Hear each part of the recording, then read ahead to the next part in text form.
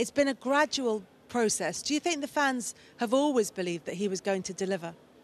Yes, uh, no doubt about that. I think Jurgen Klopp.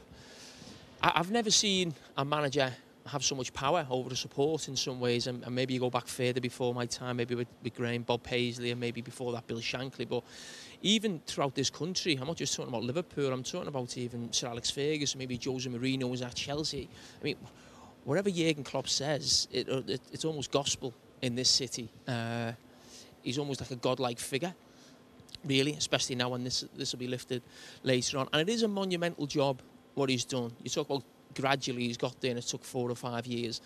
Liverpool are not a club who can one season have a bad season and then just go and blow hundreds of millions in the transfer market and, and, get close to next season. Manchester United could do that. Maybe Chelsea have proven that in the last few years. Liverpool has to be gradual. It was, it, when I was a player under Gerard Houllier, we we come close by building over five years. One of the trophies and just missed out. Same with Rafa Benitez over five or six years. And that's what he's done. He had to get into the Champions League first. Then he had to try and challenge for the title, and then it goes again.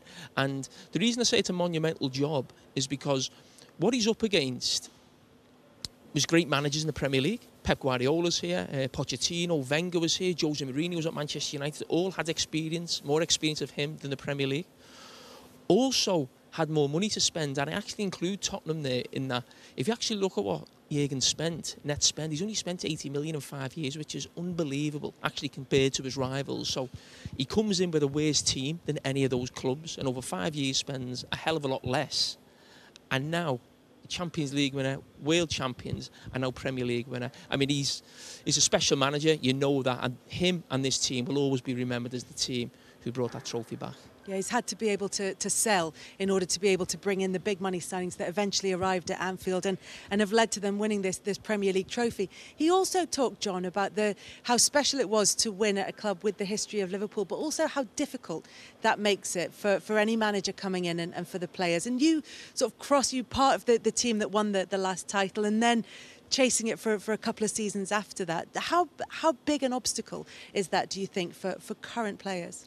Well, expectations are a huge obstacle, particularly at a club like Liverpool, because I think that we went through a period when we weren't really capable of winning it. If you're talking about, you know, my last few years in the in, in, the late 90s, even coming into the 2000s, but the expectation still was there rather than looking at a club who there's no expectations like Leicester, for example. So it, it, it's, it's been a huge, a huge, and as, as Jamie says, monumental effort. However, they've trusted him.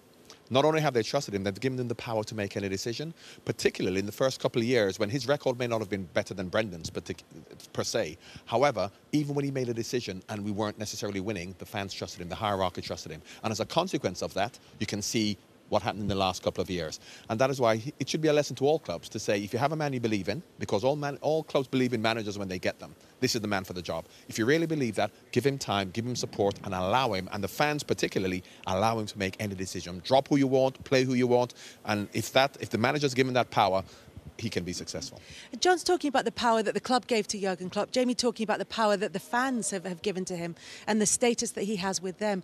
Why do you think that that's happened? Why do you think that that was almost immediate, that relationship between Jurgen Klopp and, and the club? What's the fit? I think, you know, we all know, you know how emotional this football club is. Everything it does, it's, you know, there's so much emotion involved. I think he was a perfect fit. He wears his heart on the sleeve. Um, I think very quickly he won the support over. They were believing in him. It didn't happen immediately for him. Um, you have to give the board great credit um, for A, picking him and then giving him the time to develop what he's achieved here, what he's got here. Um, you have to also mention whoever's in, I assume he has the final word on recruitment, but the people that are involved in recruitment have done the most ridiculously wonderful job. Um, and that was and still is the biggest part of managing a big football club, the ones you get in and then you get the best out of them. And I just think everything's come together at the right time for this football club. The perfect manager, with the, per the perfect people who are making the, the, the, the, serious decisions above the manager, to the people that are all the way through the chain in terms of people that are here and they've, have, have been chosen to be here. Talk about the players. I mean, they have some fantastic world-class players right now. And they're not just world-class players talent-wise, they seem to want to work their socks off every time they go out and play, and that's why they've been so consistent. And I can't wait till we get the chance to speak to Jurgen and ask him how does he get that consistency out of them, because I think We've all played the game. We know how hard it is to put two good games together, never mind two seasons. So I think there's nothing that if you were marking them out of 10, you wouldn't give them a 9.5 or a 10. And everything, every part of managing this football club.